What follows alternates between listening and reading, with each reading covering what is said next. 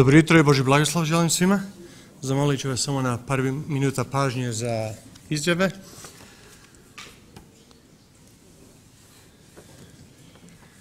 Želim isto također dobrodošlicu našim prijateljima i gledalcima preko interneta. Prvo bih želio da pozdravim sve naše goste. So, vidim da imamo uh, sestra, sestra Mirjana Bošković, ona je imala govor danas ujutro, drago nam je da ona sa nama. Um, vidim Milana i, i Dejanu uh, Kuručev, drago nam je da su oni sa nama, ja mislim oni su bili sa vama u, uh, na kempingu u Algonquin, tako da možda nije prva subota ovde, ali prva subota u crkvi. Drago nam je da ste sa nama. Uh, Mladen i Sanja, sam vidio da su tu, tamo su, to je njihova prva subota nazad. Drago nam je da ste opet sa nama, malo ste nam, we missed you, so drago, je, drago nam je da ste nazad. Um, Jona, vidio sam ga prije par minuta, jer je gore, ne vidim od svetla. Ustani se Jona da vidim da si, da li si porastao. Drago nam je da si sa nama, on je u školi u Beogradu i tako lepo nam je kad je malo vremena uh, sačuvao da bude nazad u našoj crkvi. So, welcome, Jona. Um, Mirjana i dečki. Gde je Mirjana? E, e, Rakić. No, no, ti si Mirjana, već sam tebe opom, e, predstavio. Mirjana Rakić, gde je... Video sam nju isto, ali možda je dole u, u baby room. Anyways, um, so, ona je nazad, smo videli po, po Deniju da se obrio, tako da je, vidi se da je žena se vratila. Drago nam je da su oni nazad. Jel sam promašio neke goste? Jesam. Sestra Đakov, izgledaš mlada kao kad si nas napustila. Bila. Drago nam je da si sa nama. Jel još nekoga? Ok. Radosne vesti su uvek lepo dobiti. Um, ne vidim uh, ne vidim uh, grandparents ovde, Videkanić, ali čestitamo familiji um, Sabolić i, Videkanić na, na uh, rođenje Jana, Videk, Jana Sabolić. Biće nam, lahko će nam biti se setiti njeno ime, Jara i Jana, tako da... Anyway, jel znate ko je, ko je to? Od, uh, od Bojane Videkanić, Sabolić, čerka. So Bojana je uh, dobila bebu i uh, čestitamo celoj familiji u toj uh, radosnoj vesti. Beba, de, curica, curica, druga curica. Jara je prva curica, Jana je druga curica. Sabor na Sakramentu, to je za long weekend u septembru ima sabor u Sakramentu. Kogod može da, da pođe na taj sabor, svi smo pozvani. Um, 5. do 7. september, to je weekend posle long weekend, uh, imamo gosta govornika o vaspitanju dece. Svi smo pozvani da dođemo, da donesemo naše prijatelje. Uh, sestra doktorica uh, Dona Hebernicht će da bude sa nama za vikend i uh, uvek čak ako malo se naučimo, uvek je dobro nešto novoga se naučiti. Svi smo pozvani da budemo ovde za to. Uh, molitve, naše redovite molitve po našem listu u adresaru. Opet počinjemo sada sa, sa od početka adresara. So, ove nedelje imamo na umu uh, brata Bogomirovića i familije Bolković, Miroslava i Milana. I can tell you da za za mene treba molitve, jer to mi je zadnja nedelja sa čerkom, mislim što je kod kuće i uh, uživam u tome, i, uh, ali, ali svejedno molitve are always welcome. Um, što se tiče uh, molitve nepotrebne za, za um, zdravstvo, za doktore, za sve u tome e, okviru. E, sestra Radmila Bešlić treba naše molitve, ona će da izgleda počinje sa kemoterapiji sada ove nedelje i e, stvarno treba naše pom, e, molitve. E, takođe isto Trudy e, Bolković, ona je počela kemoterapiji e, prije dve nedelje i sada je u, u tome toku da e, ide skroz kemoterapiji. I pogledamo na, na listu um, sve naše prijatelje i braće i sestre koje su potrebne molitve i da imamo njih na umu kad se molimo našem Bogu. Danas popodne nemamo, nemamo popodnevni čas, a u sredu imamo re, e, redovni molitveni čas u 7 sati, a za sve drugo zamolit ću vas da ponesete buletin kući i da budemo informisani. Um, sestra Nada Sestra Nada ima jedno obaveštenje što će nam dati, a posle nje zamolit ću vas da u miru pričekamo početak drugog dela. Hvala. Izvolite. Dobro jutro želim svima. Sledeće, za sledeću subotu očekujemo, očekujemo da imamo goste ovde u crkvi, pa smo odlučili da imamo zajednički ručak. Zato sam ja sad ovde da dam obaveštenje da bi sledeće subote doneli hranu, glavno jelo, voće ili kolače, sok i vodu. To je subota, onda se posle ćemo se spremati za Sašino i venčanje. Vidimo se u subotu.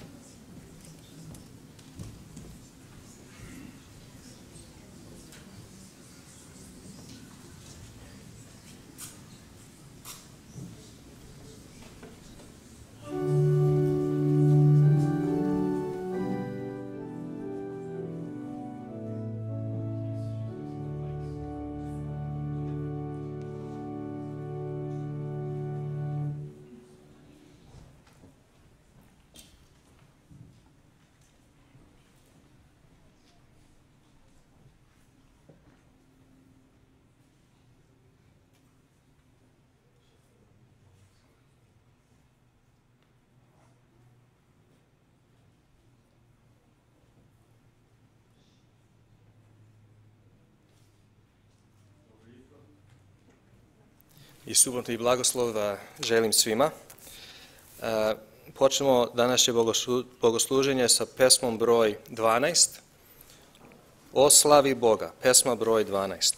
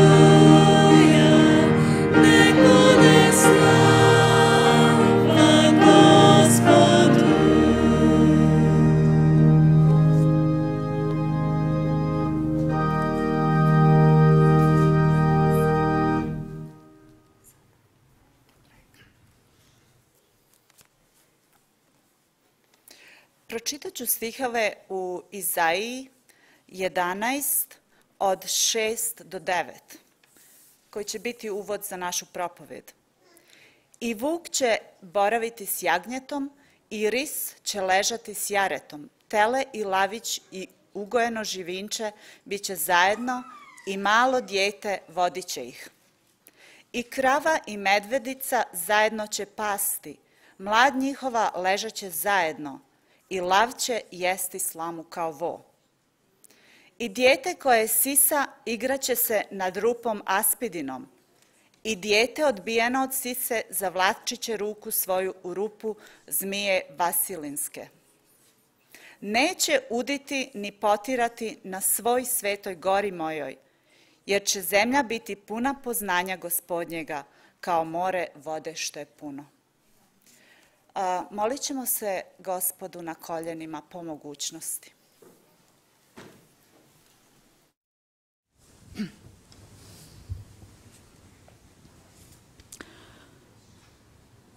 Dobri naš nebeski oče, hvala ti što u trenucima i u ovom svetu nesigurnosti, uzburkanosti i nemira mi imamo mir u srcu jer se nalazimo u tvojoj blizini pored tvojih nogu. Hvala ti što nas ti smatraš svojom decom i što si nas ti otkupio svojom krvlju i hvala ti što si nas pozna, pozvao da budemo deo tvoje velike porodice, tvoji sinovi i kćeri. Ovoga jutra mi te molimo da kad budemo otvarali tvoju reč, ti nam pomogneš da je razumijemo, da razumijemo vest koju ima da nam kažeš i da prepoznamo tvoj nežni glas kojim nas pozivaš da sledimo tvoj put. Ovoga jutra, gospode, mi te posebno molimo za sve koji stradaju. Bez obzira na naciju, na boju kože, na vjeru kojoj pripadaju, zato što si ti sve nas stvorio i za sve nas i za svakog pojedinca ti si umro. Molimo te, gospode, za sve bolesne u našoj crkvi, da ih ti duhom svojim utješiš, i daš im nadu za isceljenje. Molimo te za narod Afrike koji je u strahu od umiranja. Molimo te da daš mudrosti i znanja lekarima da mogu da zaustave tu strašnu epidemiju koja hara i odnosi živote ljudi, ne pitajući za godine. Molimo te, gospode, za države u kojima su ratovi, gde stradaju nevini, deca, gde se svakodnevno ginu, gine. Molimo te isto tako i za sve one koji su izgubili svoje mile i drage u avionskim nesrećama. Gospode, budi uz njih i utješi nas i njih. A posebno te molimo, gospode, kad sve ovo čujemo i vidimo, da ne budemo razočarani, nego da podignemo naše glave gore, i da očekujemo izbavljenje. Pomozi nam, gospode, da sa nadom i verom očekujemo dan Tvoga drugoga dolaska, kada ćeš Ti doći i kada će nastupiti večno carstvo i kada će doći naše večno izbavljenje i spasenje. Hvala Ti na svim Tvojim obećanjima večno. Amen.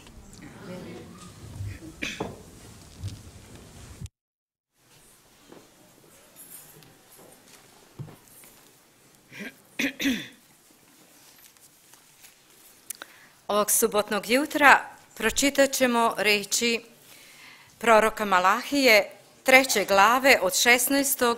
do 18. stiha.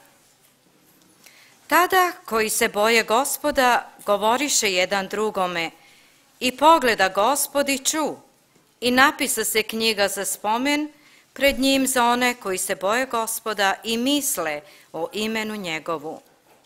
Ti će mi biti blago, veli gospod nad vojskama u onaj dan, kad ja učinim i bit ću im milostiv, kao što je otac milostiv svome sinu koji mu služi. Tada ćete se obratiti i vidjet ćete razliku između pravednika i bezbožnika, između onoga koji služi Bogu i onoga koji mu ne služi.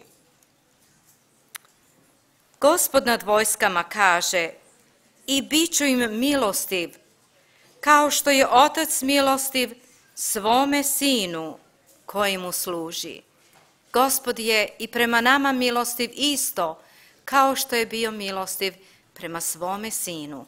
Po svojoj milosti i dobroti gospodnjoj danas smo ovde okupljeni u domu gospodnjem. Iz poštovanja i ljubavi prema našem Bogu, stvoritelju i otkupitelju, želimo i doneli smo svoje darove kojima nas je gospod obilno blagoslovio. Sada molim čakone da sakupljaju dar, a dar ove subote se sakuplja za Andrews, univerzitet i za Lomalindu. Za vreme sakupljanja dara pevat ćemo pesmu broj 11.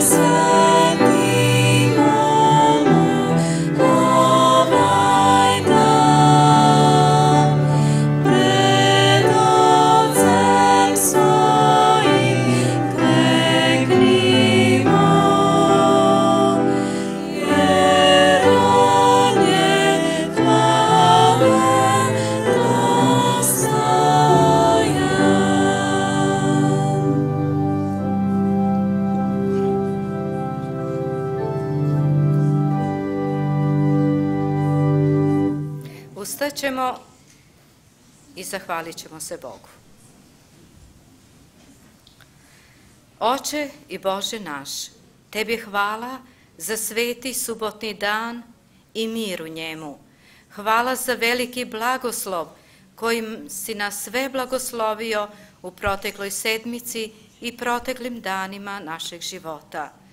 Hvala ti što smo mogli doneti na oltar pred Tebe darove koje smo pripremili, darove koji su potrebni mnogima, kako u potrebi propovedanja evanđelja, tako i svim ostalim telesnim potrebama, jer su velike po celom svetu. Učini da imamo otvoreno srce i osjećaj prema potrebi svih za koje prepoznamo, a tako i blagoslovi dar koji smo prineli tebi na oltar, neka bude od blagoslova kako onima koje, kojima se čini, tako i darodavcima. O Bože, hvala za dobrotu, hvala za mir i radost koju uživamo u svetom subotnom danu. Amin. Amin.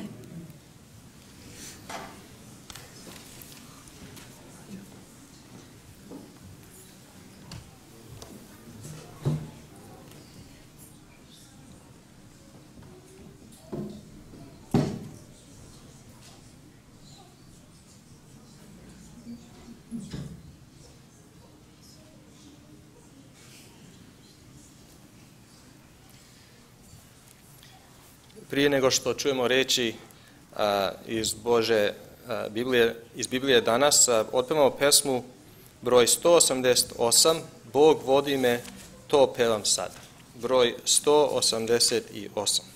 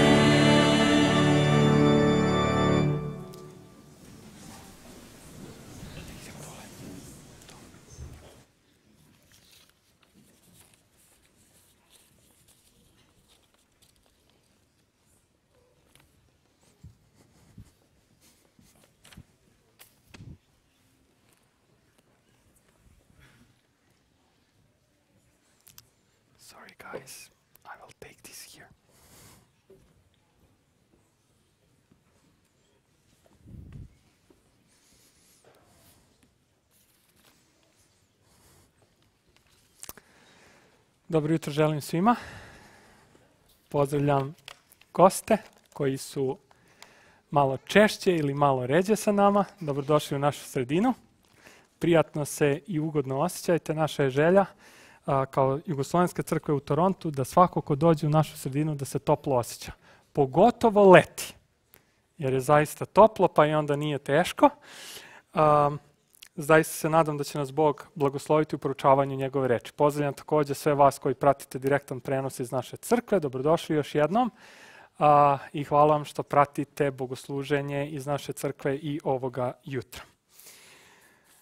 Ja ću ovoga jutra nastaviti da govorim o tome šta Biblija kaže o kraju sveta, što nije za vas iznenađenje jer ste to videli u buletinima. Imamo četiri propovedi na ovu temu, šta Biblija kaže o kraju sveta i ja sam već imao jednu propoved pre nekoliko subota. Da se kratko podsjetimo, govorili smo koliko je ova tema važna bila za nas u istoriji naše crkve, podsjetili smo se koliko puta se u istoriji naše crkve javljao pokret koji je govorio da će Isus doći tad i tad.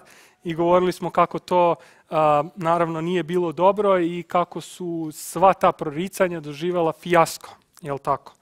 Um, takođe, govorili smo o tome koje su osnovne smernice kada proučavamo biblijske tekstove o kraju vremena i koje su osnovne smernice i principi proučavanja spisa duha proroštva kada govorimo o kraju vremena.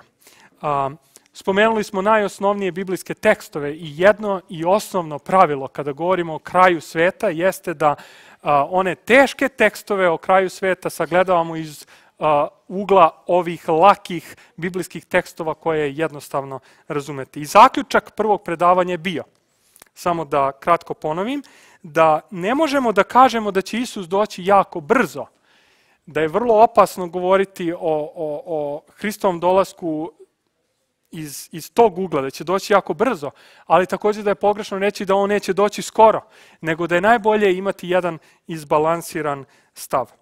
I danas nastavljamo ovaj seminar tako što ćemo govoriti šta Biblija kaže o kraju sveta iz ugla Starog Zaveta. Ne verujem da će uzeti više od pola sata i odmah želim da vam kažem o čemu ću da govorim. Govorit ću o, o tome šta piše o kraju sveta u petoknjižju, šta piše o kraju sveta u prorocima i šta piše o kraju sveta u literaturi koja se zove Second Temple Judaism Literature. Okay? A, I nakon toga, a, u zadnjih deset minuta voleo bi da izvučemo iz svega toga važne implikacije za nas danas. A, šta mi možemo danas da naučimo, šta možemo danas da primenimo u našem životu iz svih tih tekstova koje ćemo čitati i šta možemo da naučimo iz tih principa koje možemo da pronađemo u Starom Zavetu o kraju sveta. Vidite, kada govorimo o kraju sveta, da li je kraj sveta već jednom bio? Da li se dogodio kraj sveta već jednom? Jeste ili nije? Oni kažu da jeste, vi kažete da nije zato što ćutite. Jeste. Bio je kraj sveta u nekoliko navrata i biblijskom terminologijom, ako govorimo, možemo da pronađemo u starom zavetu nekoliko navrata da je došlo do kraja sveta. Prvo, potop, je li tako? I ja bih voleo da govorim o Noju, o Avramu i o Mojsiju na početku, u kontekstu onog razmišljanja iz prvih pet knjiga Mojsijevih. Kako su oni doživjeli kraj sveta? I kada govorimo o Noju, postoje četiri tačke kako je došlo do kraja sveta u njegovo vreme. I možemo da naučimo neke stvari iz, iz tog iskustva, je li tako? Jer čitamo o ljudima koji su doživjeli kraj sveta, vidimo kako se to dogodilo tada i učimo kako će to da se dogodi u budućnosti. Isus je sam rekao, bit će kao u vreme Nojevo, što znači Isus je napravio tu vezu. Isus je rekao da možemo da učimo iz iskustva Noja. Četiri tačke. Prvo je došlo do degradacije morala. Broj dva, došlo je do najave kraja. Broj tri, došlo je do izvršnog suda ili zaista je došao kraj. I broj četiri, imamo rezultat, nešto novo što je bilo stvoreno. I hajde da prođemo, da, da prođemo kroz ove tačke. Degradacija morala. Prva Mojsijeva šest. Prva Mojsijeva šest od 5 do 11. Na primer, ima mnogo tekstova u šestom pogledu, na primer jedan. I gospod videći da je šta?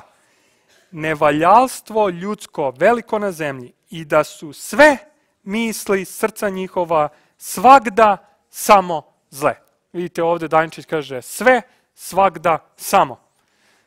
Neverovatno, ne možemo da zamislimo kako je to tad bilo. Neki ljudi upoređuju sada to vreme sa ovim našim vremenom i kažu da su mi blizu tog uh, ponora moralne propasti i, i da, je, da smo jako, jako daleko od onog ideala Božjeg. U svakom slučaju, ova degradacija je bila na fizičkom, duhovnom i moralnom području. I Bog je saosećao sa tim ljudima. Bog je saosećao sa tim ljudima i najavio je kraj. Jer je želeo da reši taj problem. I pogledajte kraj. Prva Mojsiva 6.13.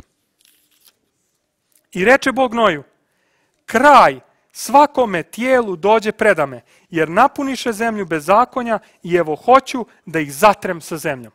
Dakle, kada govorimo o toj moralnoj degradaciji koja se dogodila, Bog je odreagovao i rekao da će doći kraj. U kom smislu? Kraj u smislu uništenja i spasenja. jedni će biti uništeni, ništa vam novo nisam rekao, je tako? Jedni će biti uništeni, a drugi će biti spašeni.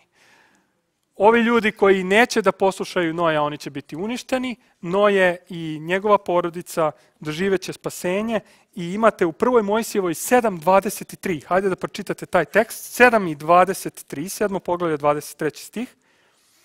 I istrebi se svako telo živo na zemlji, i ljudi iz stoka, i što god gamiže, i ptice nebeske, sve velim, istrebi se sa zemlje. Samo Noje osta.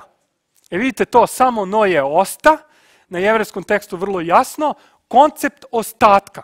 Dakle, imamo one koji će biti izgubljeni i oni koji će biti spaseni, a ti koji će biti spaseni u Bibliji su uvek nazvani kao ostatak. Imate taj koncept ostatka koji, koji ostaje i koji je, uh, uh, koji je spasen.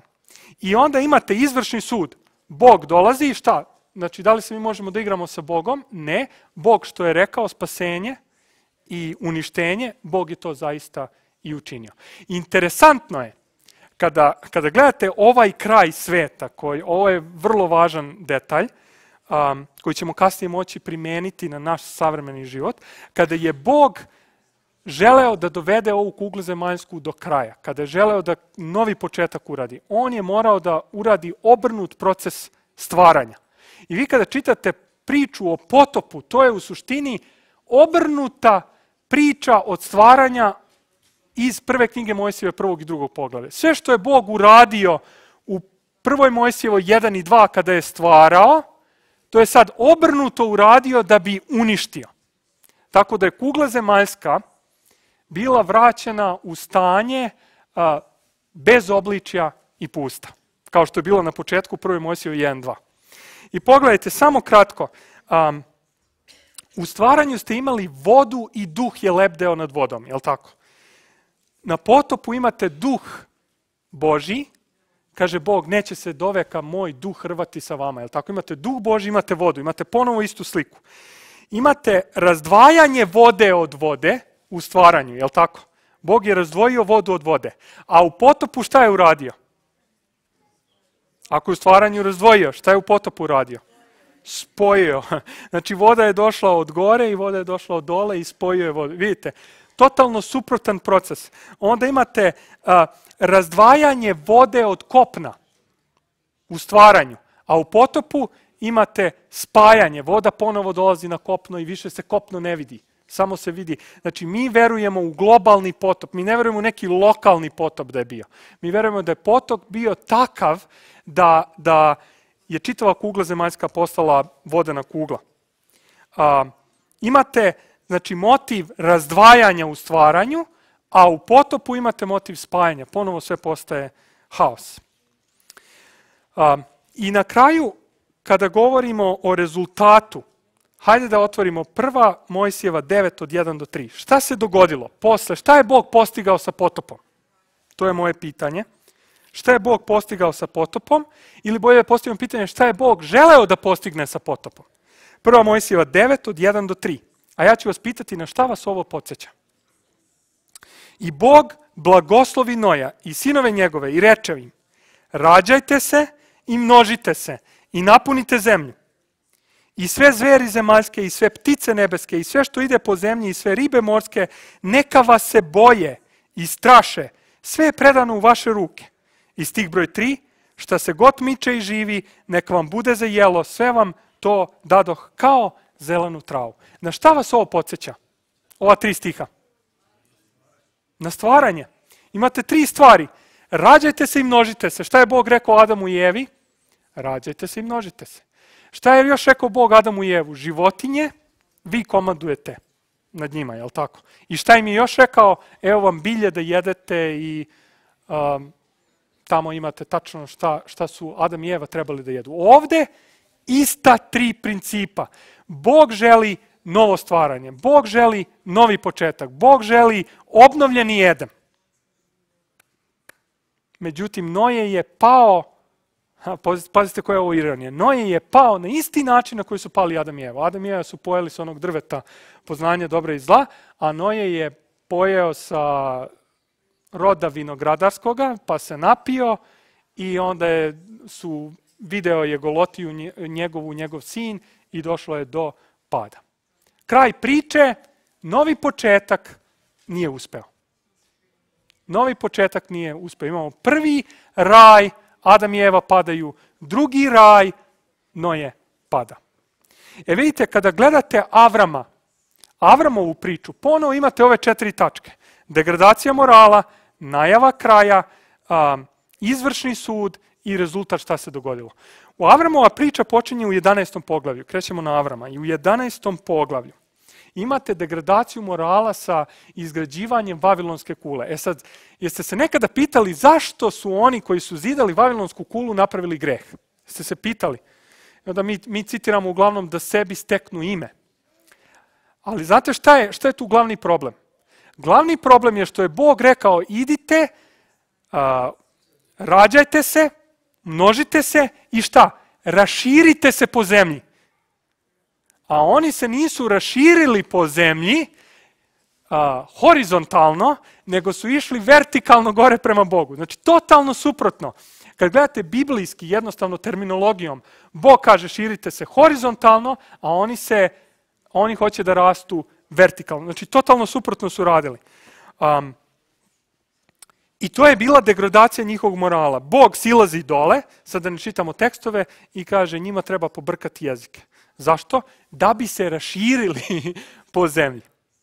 To je koncept koji Bog želeo. Umnožite se, raširite se. Vi nećete, ja ću vam pobrkati jezike, pa ćete onda morati da radite što, to što sam vam ja rekao. I onda ide izvršni sud, on silazi dole i ponovo, izgubljeni, spaseni. Znači imate ponovo uh, doživljavanje kraja. Izgubljeni su oni koji su u Vavilonskoj kuli, a spaseni trebaju da dođu kroz Avrama. I sad pogledajte ponovo koncept koji Bog ima. Bog želi da taj kraj bude obnavljanje raja. I kroz Avrama on želi da obnovi ono što je bilo u raju.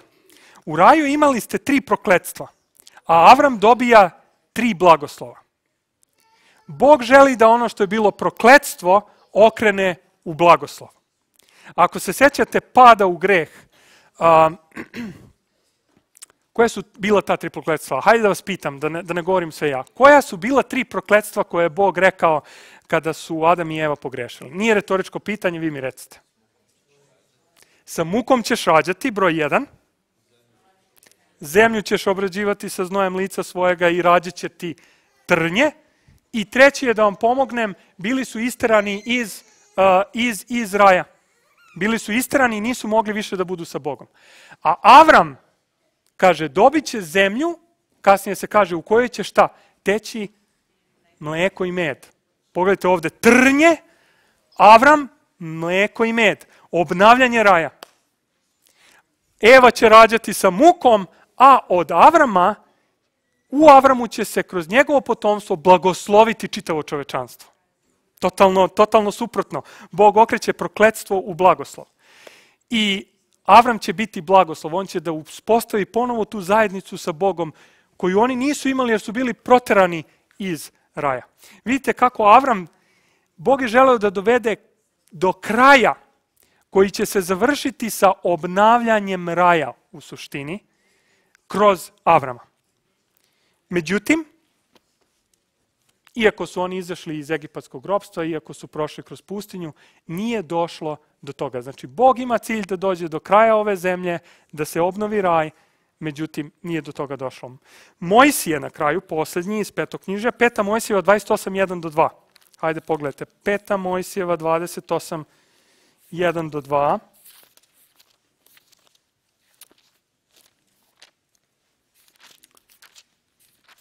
To su čuveni tekstovi o blagoslovu i prokletstvima. 28, 1 do 2. Dobro. Kaže, ako dobro zaslušaš glad gospoda Boga svojega, držeći i tvoreći sve zapovesti njegove koje ti ja danas zapovedam, uzvisit će te gospod Bog tvoj više svih naroda na zemlji i doći će na tebe svi ovi blagoslovi i steći će ti se ako zaslušaš glas gospoda Boga svojega. Koji blagoslovi? Blagoslovi koje je obećao Avram. Kada čitate blagoslove proklestva vidjet ćete ove tri stvari – zemlja, narod, zajedništvo s Bogom. Bog želi kroz Mojsija, kroz Izrael da obnovi raj. Bog se uvek vraća na onaj prvobitni ideal. To je cilj kraja, da dođemo do prvobitnog ideala koji smo imali na početku stvaranja. A prokledstva? Prokledstva su obrnuto. Uništavanje nacije, uništavanje umnožavanja i uništavanje zajednice sa Bogom. Potpuno suprotne tri stvari. Međutim, imate zanimljivu stvar u prvom, prvi pet knjiga Mojsije. Vi kad vidite kako je Bog naumio da dođe do kraja, preko Avrama i Mojsija, oni su imali izbor. Ako činiš to i to, doći ćete do obnovljenog jedema. Ako činiš obrnuto, do, doživjet ćeš prokletstvo i otićete u izgnanstvo i neće doći do takvog kraja do koga ja želim. Oni su imali izbor. Kao da u starom zavetu čitamo koncept da sa poslušnošću Izraela može da dođe do kraja. Vi ćemo kasnije u prorocima. Ako je Izrael poslušan, kakva će, kakva će biti zemlja Izrael? 66. poglavlje Isaije. Lav i jagnje živeće zajedno. To nije obećanje o posljednjem kraju. To je obećanje o onome što oni mogu da dožive već na ovoj zemlji posle izlaska iz Vavilona. Ako čitate tekst u njegovom kontekstu. Bog ima koncept da obnovi čitav naš život i da dođemo do raja već ovde, već ovde na zemlji u starom zavetu. I hajde sada da, da, da pređemo na proroke. Kada govorimo o prorocima, kako su oni doživjeli kraj? Oni su doživjeli kraj a, tako što je Jerusalim bio srušen, otišli su u, Eg, u Vavilon i svi proroci pišu ili pre Vavilona ili za vreme Vavilona ili posle Vavilona. To je bio njihov kraj. Razumete, mi govorimo o kraju. Za nekoga danas je kraj, nije kraj drugi Hristov dolazak.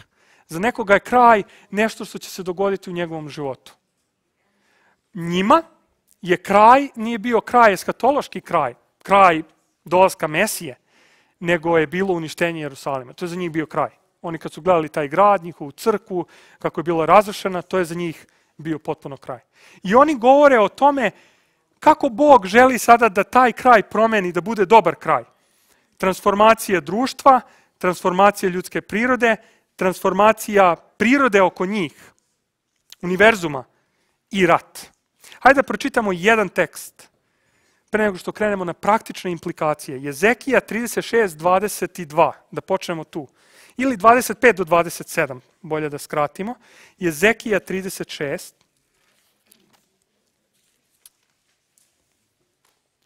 dvadeset dva, to je 25 do 27. Kaže ovde Bog, pokropit ću vas vodom čistom i bit ćete čisti. Ja ću vas očistiti od svih nečistota vaših i od svih gadnije bogova vaših.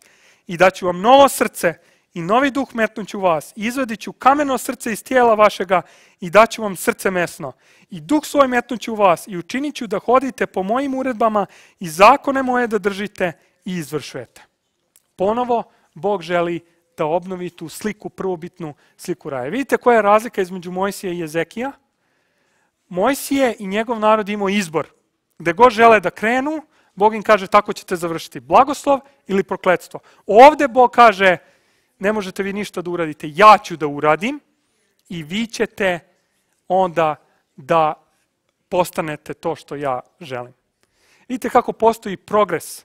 Narod je u Starom Zavetu pokazao da ne mogu ništa da urade oni sami. Ovo će biti jako važna implikacija za nas danas kasnije, kad budemo primjenjivali ove tekstove za naš život, da ne mogu oni sami da urade, nego će Bog da interveniše i kada Bog interveniše, onda će njihovo srce biti drugačije, njihove misli drugačije, oni će verovati u Boga i vratit će se a, kraju. E sada, a, dajte mi 3 do 5 minuta, samo da vam kažem, a, postoje dve vrste knjiga, apokrifi i pseudoepigrafi. Ja želim sad nešto da vam kažem o pseudoepigrafima koji su nastali pre Hristovog dolaska. Kada je Hristos došao, ono što je jevrejski narod čitao je bio stari zavet, ali su bili takođe pseudoepigrafi. To su knjige koji su nastale negde oko 150. godine pre Hrista. I u tim knjigama se govori o tome kako će doći do kraja. I kada čitate tu, te knjige, onda vidite da će do kraja, do kraja da dođe tako što će Bog da interveniše, što će da nastane jedna kratka pauza i onda će nastati nova era. Izrael ne može ništa da uradi da bi došao do kraja. Bog mora da interveniše, doći će do pauze, potpuno novog stvaranja, kao što je bilo za vreme Noja, i onda će da krene novi početak i nova era. Ajde da idemo na implikacije. Zašto je ovo sve značajno za nas? Postoji mnoge, mnoge implikacije, ja ću izvući samo pet, koje možemo da izvučemo iz staroga zaveta. Šta možemo mi za nas danas da izvučemo i šta možemo da naučimo iz ovih tekstova? Broj 1. Najavljivanje kraja mora da bude rečju i životom, kao što su to radili Noje, Avram i Mojsije. Znači, kada govorimo o kraju, u starom zavetu je uvek postojala jedna grupa ili jedan pojedinac koji je objavljivao kraj. I taj pojedinac trebao je ne samo da govori o tome, nego je trebao da živi tako. Noje, možete zamisliti Noje, Noje propoveda da će doći potop, ali ne gradi barku, nego gradi ne znam nija šta, nešto drugo. Jel bi to funkcionisalo? A možda i bi donekle, ali kad bi došao potop, on bi bio izgubljen definitivno. Ne bi mogao gde da uđe.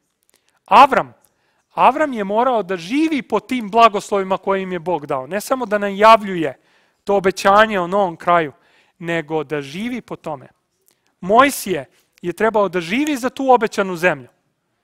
Nije mogao reći, idite vi iz egipatskog grobstva sad u obećanu zemlju, ja ću da vas stignem. Vi krenite kroz pustinju. Morao je da ide sa njima. Da li mi kao adventisti smo zaista adventisti? To je moje pitanje i prva pouka. Znači, objavljivanje kraja ide sa tim da mi živimo za taj kraj.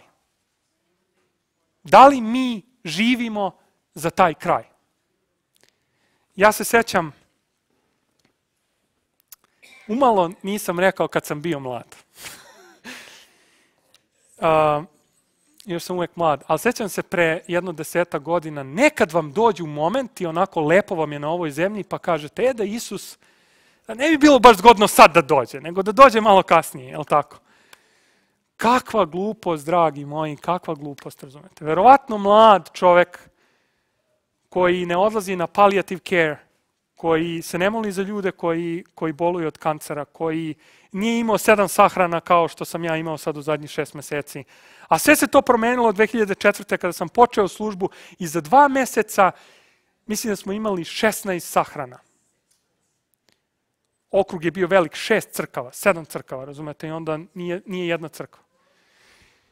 I onda počnete da razmišljate, pa čak i ako je meni dobro, ne želim da gledam to oko mene šta se dešava. Da li mi živimo za kraj, kao što je živeo Noje? I da li mi a, u pravom smislu te reči jesmo adventisti koji čekamo? To je prva poruka. U starom zavetu ljudi koji su čekali kraj su živeli za taj kraj. Noje nije razmišljao ničem drugom. Svi su mu se smejali, pa on je jedva čekao da dođe kraj. Da se pokaže da to što je on govorio, da je zaista istinito. Mojsije, koji je napustio sve, samo zato da bi otišao u tu obećanu zemlju. Pa jedva je čekao da dođe i na kraju nije, nažalost nije ušao, ali ju je video, video je. Kako je to bilo okrutno da mu Bog nije ni pokazao. Um, Ali on je živeo za to. Možete zamisliti sad Mojsije da nije živeo za to. Pa on je ostavio sve, ostavio je tu slavu faraona, sve poziciju. On je živeo za to. Da li mi živimo za to? Poruka broj 1. Poruka broj 2. Kraj će doneti uništenje za jedne i spasenje za druge. Mi to ponekada zaboravimo. Mi mislimo da će to sve da ide tako lako, da će svi biti spašeni, da će... Imate te univerzalne ideje da šta god da radiš, šta god da veruješ, kako god da misliš, kakav god da ti je mindset, šta god da misliš u svom životu, na kraju sve će biti dobro. Imate ljude koji Znate koje je osnovno pitanje kada proučavate osnovne istine? Da li će na kraju, a, kada dođe Isus, kada sve, biti još jedna prilika za one koji, ho, razumete, uvek, uvek hoćemo još jednu priliku. Nikada nije kraj. Pa Biblija kaže da posle smrti nema više ničega. Dolazi kraj. Za one koji veruju, vaskrsnuće u život. Za one koji ne veruju, vaskrsnuće da prime kaznu. Da im bude jasno zbog čega, zbog čega neće više živjeti. Znači, kraj donosi uništenje za jedne, spasenje za druge. Kraj je uništenje svih naših, kraj svih naših snova, kraj svih naših nada, kraj za sve ono što smo radili na ovoj zemlji. To znači kraj. Ponekada nismo svesni toga. Broj 3. Kraj znači obnavljanje prvobitnog raja. I mi već sada na ovoj zemlji trebamo da stremimo ka tom idealu. Zašto će doći do kraja? Da bi Bog ponovo uništio sve i stvorio onako kako je trebalo da bude jednog dana kada su, kada su Adam i Eva živeli u tom raju.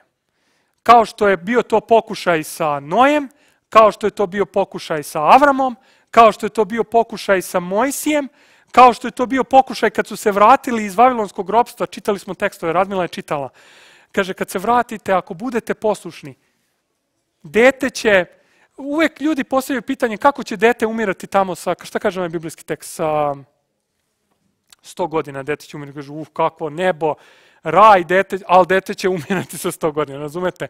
To nema veze sa slikom koju mi imamo u Novom Zavetu. To je slika koju su oni mogli da žive kada su se vratili iz Vavilonskog ropstva.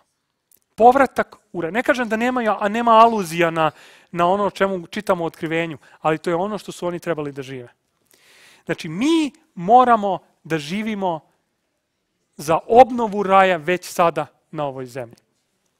Broj četiri. Ovo mi je vrlo, vrlo značajno. Kraj mora doći sa nadprirodnom Božjom intervencijom. Vidite, u starom zavetu je postojao pokušaj kroz Noja, kroz Avrama, da Boži narod nešto uradi kako bi se vratio raj. Međutim, pošto se pokazalo neuspešno, Bog mora da dođe, da obnovi sve i da dođe do obnove. Pazite, danas, pre, pre tri godine, jel tako sam ja došao ovde, bila je generalna konferencija, pre četiri godine pokrenuta je velika, velika akcija o probuđenju i reformacije, jel tako? Koju ja maksimalno podržavam. Ali želim da dometnem jednu stvar. Sa probuđenjem i reformacijom koju ćemo mi uraditi, nećemo mi naterati Boga da Bog dođe i da učini kraj.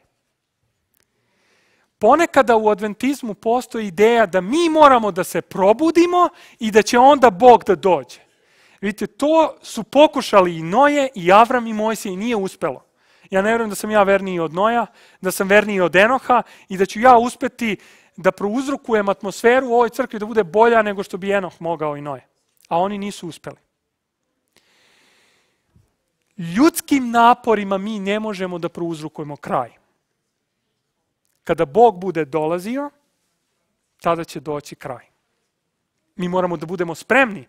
Mi moramo da doživimo probuđenje i reformaciju radi nas, ali mi ne možemo da učičemo na kraj sa probuđenjem i reformacijom. Barem ja tako mislim, a dozvoljavam svima da razmišljaju na svoj a, način.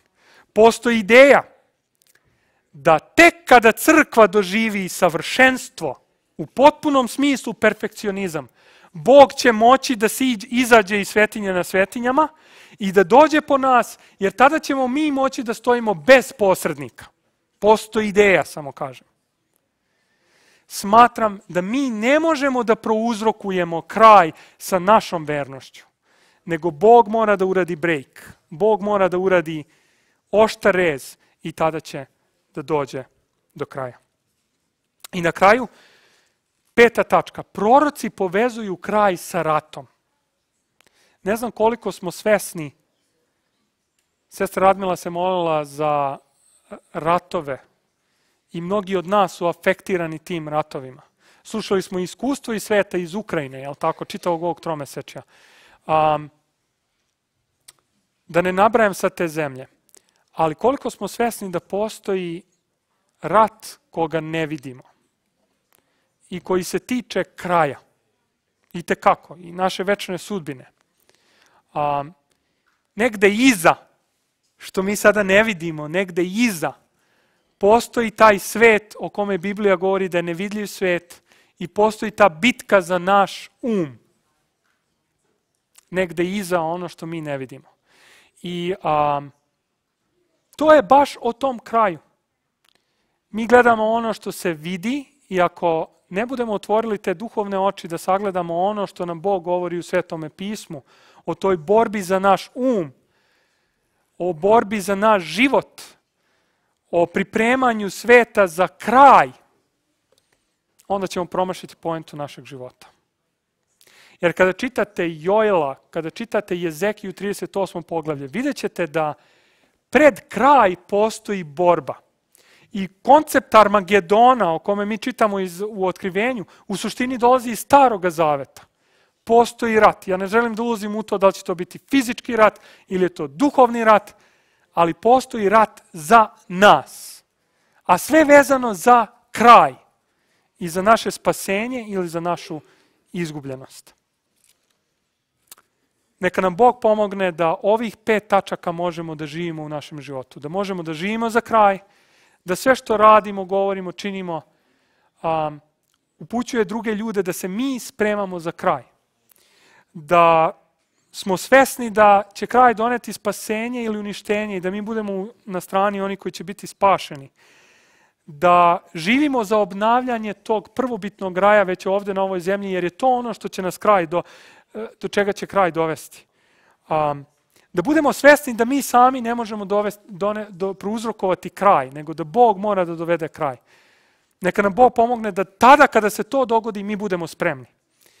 I na kraju da sagledamo taj duhovni rat svakoga dana koji se dešava oko nas. Jer je to takođe vezano sa krajem. Neka nam Bog pomogne da budemo spremni na kraju. Amin.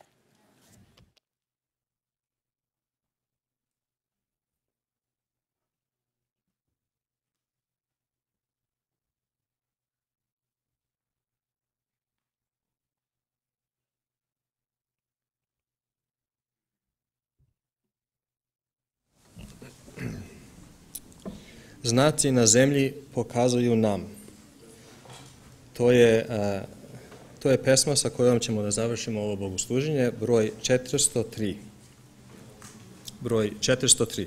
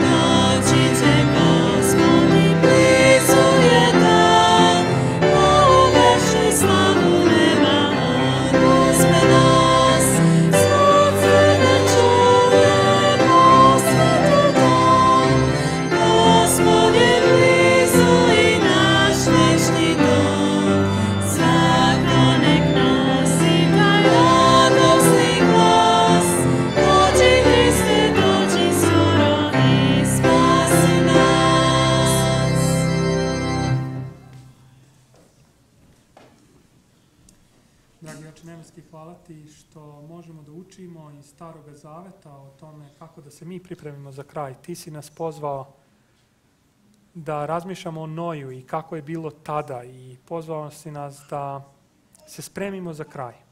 Molimo te da kao adventisti sedmoga dana možemo da opravdamo to ime, da čekamo, da sa rečju, sa životom, sa delima, sa svim onim što činimo, možemo da pokazujemo drugima da mi čekamo kraj, da čekamo obnovljeni raj.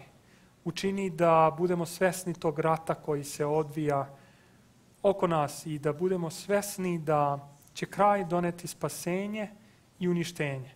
A ti učini da milošću tvojom mi budemo na strani onih koji će biti spaseni. U Hristovo ime to te molimo. Amin.